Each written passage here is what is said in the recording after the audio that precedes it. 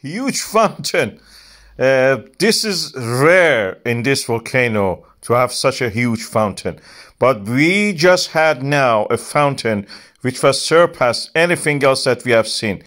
That is 100 meters to my estimate. Look at it. It goes high and high and high. It goes so high that the lava actually cools down and gets dark in color. Amazing.